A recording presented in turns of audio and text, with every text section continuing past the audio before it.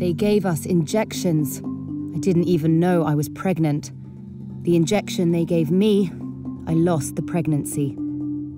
This is Aisha, one of the thousands of women and girls kidnapped and forced into sexual slavery by Boko Haram in Nigeria. She escaped with her daughter and was found by Nigerian soldiers who took them to a nearby camp. There, she told us, they gave her two injections of an unknown medicine. Later, she was writhing in pain and began bleeding heavily from her vagina. Aisha then understood the soldiers, she says, tricked her into an abortion. They said it was even better if it's aborted because it's a Boko Haram child. Reuters has uncovered a systematic and secret abortion program by Nigeria's army to terminate the pregnancies of women who've been kidnapped and often raped by Islamist militants. We also found that the Nigerian army targeted children for killing under the belief that they were or would become insurgents themselves. The child killings appear to lack the detailed organization and elaborate infrastructure of the abortion program. In all, Reuters has tallied at least 10,000 pregnancies that were terminated by the military program since 2013. It's done in secret. Unless you go inside the place, you wouldn't know what's happening in there. They gave me an injection, and when they did that, I lost the pregnancy. I was ill and I was bleeding so much. Almost all sources spoke to us at their peril and on condition of anonymity for fear of retaliation. The stories and words are their own, but to protect their identities, we've replaced their voices. The military, though, denies the abortion program ever existed and denies troops ever targeted children for killing the Nigerian armed forces can never be involved in such things. Two decades ago, the Islamist fundamentalist movement Boko Haram was born in Nigeria's northeast. Boko Haram made worldwide headlines in 2014 when it abducted 276 schoolgirls in the town of Chibok. The previous year, in 2013, the Nigerian army took over the fight against Boko Haram from a task force of security agencies. Nigeria has made remarkable progress in our resolve to defeat Boko Haram. Since then, Boko Haram has splintered, and the dominant insurgent faction now brands itself as Islamic State West Africa Province. Soldiers and local civilians still refer to both groups as Boko Haram, though. Aisha was one of the thousands of women and girls kidnapped by Islamist militants. There was no joy to be found with him because he was angry, always angry, always beating me, sometimes even hitting me with a whip. I was stubborn, according to him. We were in their hands. What could we do?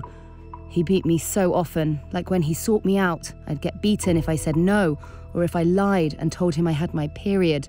He would say that even with the period, he would have his way with me, and he would beat me.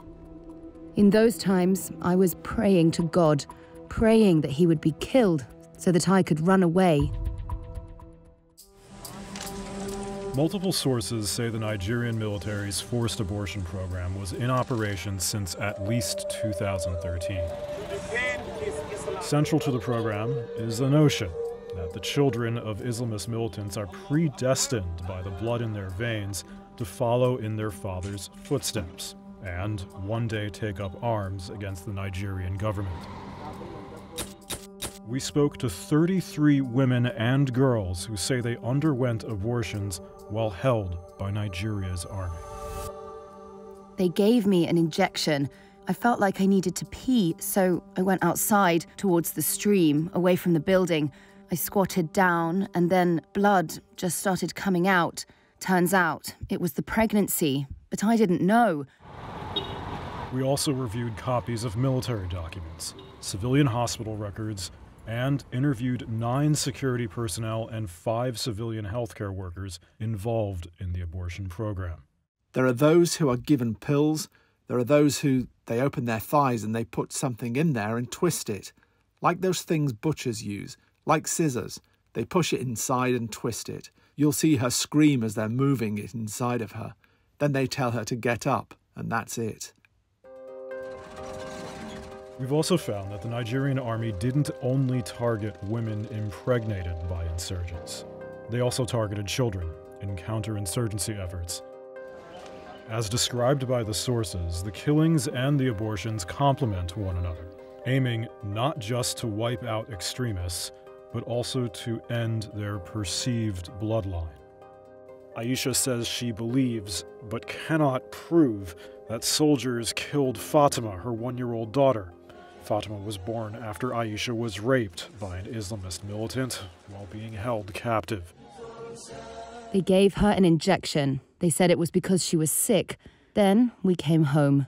I was with Fatima, and I noticed her body started heating up. There was this pharmacist. I went there to buy medicine, which I gave her to take. We were there, and she just got worse and worse. And then, in the evening, I saw she was dead. More than 40 sources, both civilians and soldiers, told Reuters they saw the military kill children or saw the dead bodies of children after a military operation. One massacre of at least 10 children and several adults was near a town called Kukawa. This soldier says he was there. We finished shooting them, and then we dug a hole on the spot.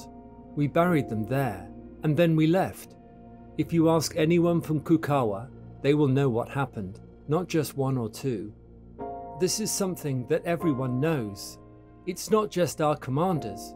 Most other people say the same, and they heard it from the mouths of our soldiers, saying that if we let them grow up, if they're born and they grow up, it will be with that ideology, Boko Haram's ideology, because their parents were Boko Haram.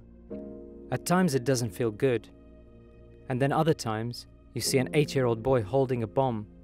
Or other times, those kids loading ammunition, six or seven year old who was taught how to load ammunition into a magazine or a gun. So you see, they start to become bad eggs. Honestly, it really troubles me. What troubles me is that a small child has no fault.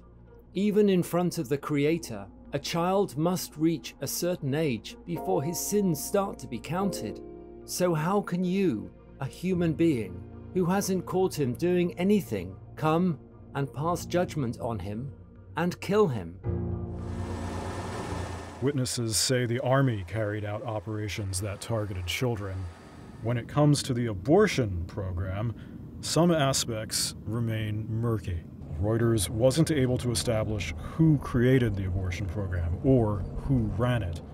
What we do know is that the abortion procedures took place in at least five military facilities and five civilian hospitals in the Northeast. That's according to the witnesses and the documents. Many occurred in the city of Maiduguri, the largest in the area and the command center of the government's war on the Islamist militants. Some of the most powerful military leaders in Nigeria oversaw counterinsurgency operations in the region during the period the abortion program was carried out. It includes the highly decorated Lieutenant General Tukur Buratai, formerly the Army's Chief of Staff. He's now retired some of his former subordinates have also risen to power, such as the current defense chief, Lucky Irabor. Nigerian military officials say Reuters' reporting on the abortion program is part of a foreign effort to undermine their fight against the insurgents. Buratai and Irabor didn't respond to Reuters' requests for comment. But Irabor told a news conference after our reporting on the abortion program was first published that the cases referred to by Reuters never occurred and that he never saw anything like that. I think Nigerians are um, better you know, informed as to the disposition of the armed forces relative to the allusions of Reuters for them to take a stand and to know that certainly the military, the Nigerian armed forces can never be involved in such. For the other women and girls who have survived kidnappings, rapes, and abortions, a different kind of misery awaits as they try to restart their lives. Almost all of them are poor, living in a society ruined by war, strapped for food and medical care. Aisha is one of them. She feels powerless. It made me angry, but well, there was nothing I could do. Because it was in the hands of the law. What power do you have to say anything? It made me angry, but I thought, that's it. Whatever God decides for me will be right.